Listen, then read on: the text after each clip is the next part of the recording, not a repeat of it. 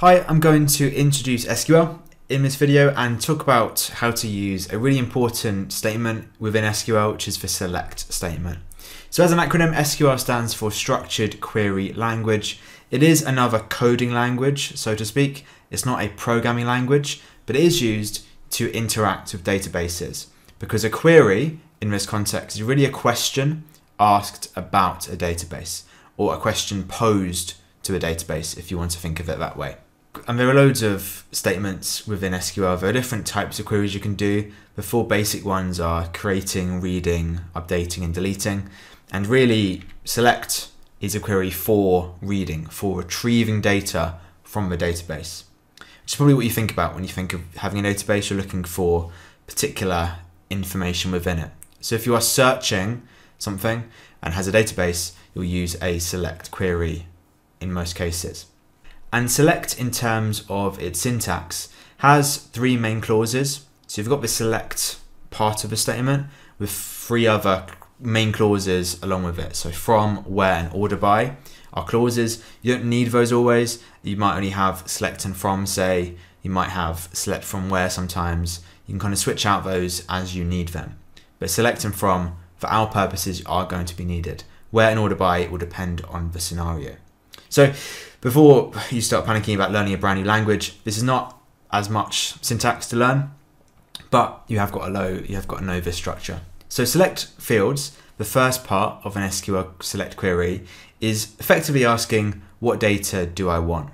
The fields are the columns, remember? So what parts of a database, what parts of a table do I actually need? From table is where you write down where the data is held. So you write down the table name or table names if you've got multiple. Where is used to narrow down the data returned. So how should you filter it? Which records are you looking for in particular? And order by, as the name would suggest, is dictating how it's shown. Are you showing it in alphabetical order? Are you showing it in uh, descending order, ascending order?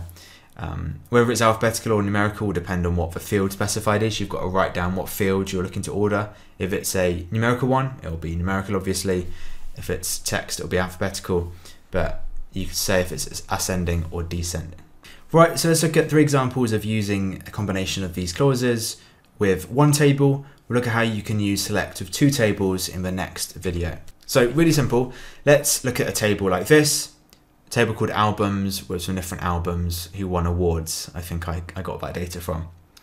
Now we've got four fields here, ID, title, artist, year. We've got five records and the primary key is likely ID in this table. So let's say my query, my question is, what are the album titles stored? I want all of the album titles held in this table. So what you would do, if you were using SQL, you'd write a statement like this. Select title from albums.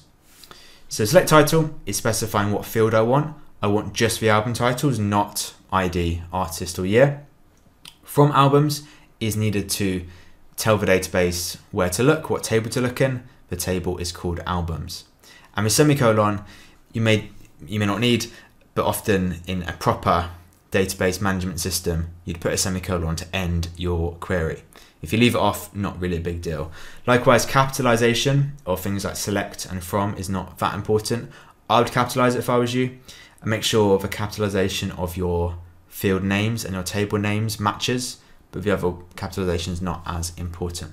So if you ran this query with this table, you'd get this result, all five records, but with only one field, which is title. And I think it's important to realize select will give you back a table which has your requested records with only the fields you specified in the query. So that's a simple one. Let's look at a second example, which is a little bit more developed.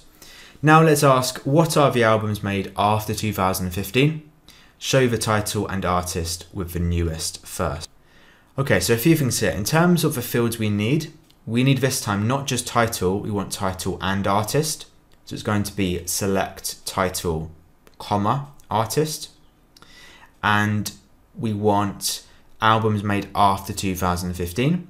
So we need to have a condition and we want to have the newest first, which means we need to have an order by clause.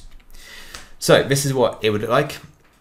we've got select title, comma artist. If you've got more than one, either field or table, you separate them with commas. So don't write and or anything like that, just have commas, title, comma, artist, the two fields I need. I've still only got one table, so from albums is as it is. But now we've got a where clause. So a bit like an if statement really, we write a condition after it. So where the year is above 2015 is what it specified. Made after suggests it's 2016 onwards. And you notice how year is not one of the ones I selected. That's fine. Because year is within the albums table, I can still access it despite me not actually selecting it. And finally, we're going to order by the year in descending order. That gives us the newest first. So this would be the query result, just two records and the two fields are specified. We don't have Adele because 2015 is not bigger than 2015 and Jon Batiste comes first because that has the latest year. So when you have something after your field in order by, desc is short for descending and asc is short for ascending. And again, I've put a semicolon at the end of this long select statement. Not essential, I would say, in most cases. Not a bad thing to put in just to be on the safe side. This is important if you've got more than one in the same bit of text. I've put this on four different lines. It could be on one long line. It doesn't actually matter as long as you've got a semicolon to tell it when it's done. In an exam, that's obviously not nearly as important. Right, using a table from a previous video, let's look at another example with a new set of data. I've got a teachers table here with four teachers and four fields. And my question is, what are all of the details of the teachers with the codes ABN and TBN? Well, if I was constructing an SQL select query here, first things to think about is what comes after select select what? Well, it says all of the details, meaning I need all four fields. Now I could go select teacher code, comma, name, comma, department, comma, lessons, but not a great use of me writing down. There is a shorthand, which I want you to know about, which is a star.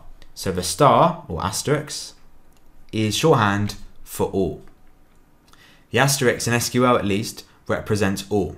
So when you see a star, think all. So really it's saying select all from teachers. Select all fields from teachers. These are called wildcards. A wildcard is where you've got a symbol representing something else. And there are a few more, but this is by far the most useful for select. Still got to do from teachers to tell it the table. But now my where clause, I'm only looking for the codes ABN and TBN. So I've got a more complex condition here. I've got where teacher code equals ABN or teacher code equals TBN. Very similar to an if statement in programming. Now, despite my question saying and, I need the OR operator, which you can do in SQL, make sure it's capitalized. So Boolean OR is where it's one or the other. It doesn't make sense to have teacher code equals ABN and teacher code equals TBN because you can't have both. They're a primary key, teacher code, so you can't have two at the same time. So it's got to be OR. And this will give us just these two records, the ABN one and the TBN one, with all four fields.